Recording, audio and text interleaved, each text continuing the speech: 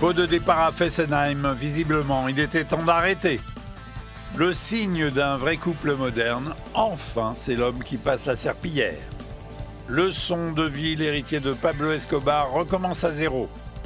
Chute des cours du café, ruiné, Georges Clooney se retrouve hébergé par son premier amour.